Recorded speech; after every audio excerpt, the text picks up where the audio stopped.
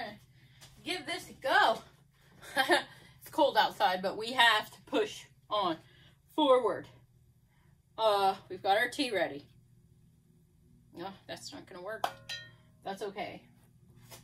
I think I've got a funnel over here. So I will show you what I'm using to filter this tea.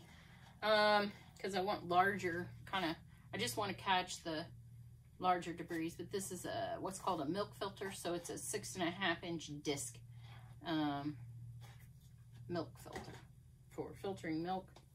Um, and then I had the funnel. There was a white one just right here.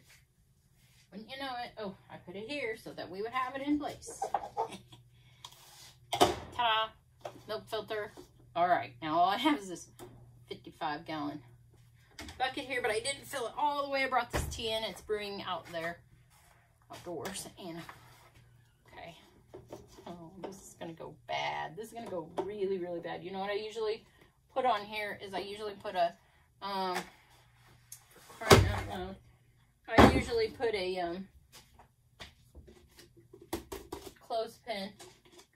I'm just going to use this to scoop out some water. So I'm not going to be scooping out a large amount. And then we will filter a little bit. Oh, it's working. We have a tea. First time ever. Now, I don't like that. See how the filter's plugging? Um, this may be a little fine for what I should be doing. Uh, let me get this piece of um, cheesecloth over here. I've used it to filter something else, but there's still parts here that are decent enough. So the milk filter is not going to work. You see how that just clogs up right away? That's what I was talking about. When you guys are working on these amendments, uh, why I use the uh, European Nightcrawler um, castings. They're larger, so I didn't feel like they would make as much of a small debris that would clog filters. Um, so we gotta hash that out. Alright, this is gonna do the job. See, we're filling down there, and then we're not, you know, our bacteria is getting through there, but yeah, our larger stuff, it's staying out. Well, there's just some leaves and stuff there. So we're to try this on some house plants. I'm not to be putting this one in the stand yet. We got to make sure we don't kill plants first. we did look at it under the microscope. We've got some fungal spores that are starting to sprout or germinate or whatever you want to call that. So there is our reverse woohoo tea. So if y'all are strong enough to just get started on that and offer your worm teas, go for it. Um, I'm still doing my research on that. anyway, that's one big accomplishment. I've got labels, but this one's not going to um, go out for people at this moment. So I'm going to use it on my house plants. We'll see what happens. Now, the next thing, my next big advancement that I want to do, that I wanted to bring y'all along with me. Look what showed up in the mail this weekend. These are my biochar bags. Look, it's got the little window in it. Two, three sizes I got. For I've got the different size sifts, see? And then this bigger one for bigger chunks. And what I want to do now, I mean, I'm going to probably offer some as just char without being inoculated because maybe somebody else wants to inoculate it with something different than what I have, possibly. Or use it for, I don't know what. But anyway, it's, it's there. It can be done. So I'm going to go ahead. Uh, Y'all can just come like right here along with me. Let's get our biochar up here. in our little bag. One step further.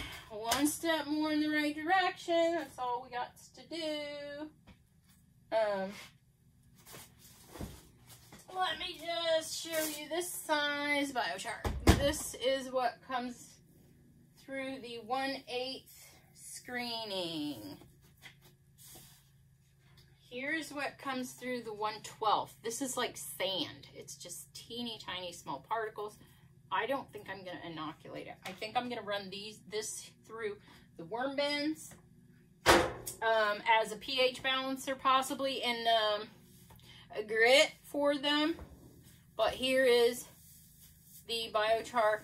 It does have a few pieces that are not completely charred. I don't know how you're ever going to overcome that, uh, especially if you're doing it just the way I do it. It's just, it's a good way, but still the leaves blow in there and stuff like that. Now I probably should weigh it, but right now I'm just going to try to fill the bag with the char. So we at least filled the window so they can see what size that char is. I can also go ahead and get y'all out the scale. Let's just leave the scale over here plugged in. I'll turn it on. Okay, it's got a zero out. And I'll just show you over here. Y'all don't need to see the buttons, but by the pound. Well, we'll see how much fits in there. So 4.8. So this is going to be a half a pound of char. I don't know what I should sell half a pound of char for, but... Oh, there's 5.0. You can always just add a little bit, dash more, so nobody can say we chinsed them. Right. Ah, wait. That bucket was doing something there.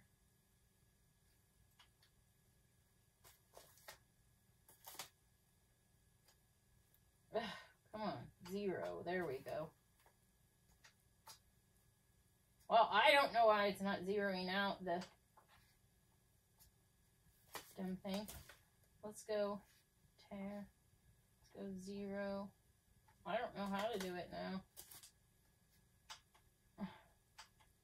I'm trying to zero it and it won't zero.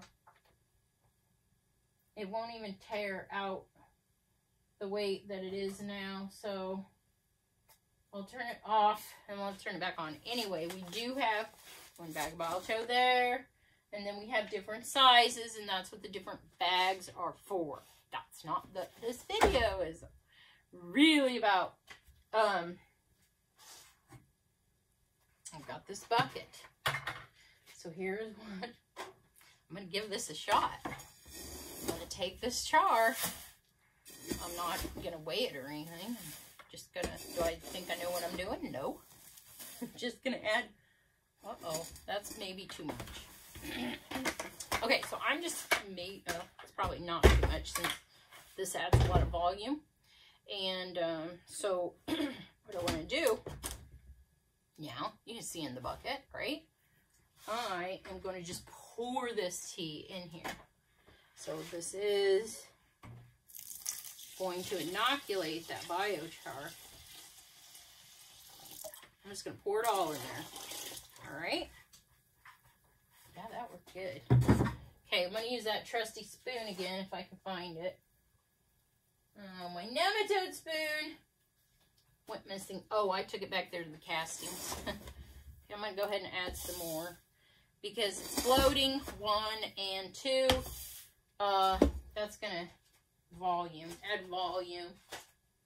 Okay, so here we go. Now, how am I going to, I will have to let that all soak in there, I guess is the point. Ah, yeah, it's soaking it in. Good.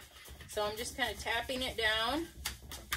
And I'm going to assume it's just going to suck it right on up in there. I've never inoculated biochar before. So I just want it good and covered. I um, got about an inch of space there. So I think what I'm wanting is just to have it so that it's completely packed. And then um, hopefully over time what that'll do, that biochar should suck in all that moisture.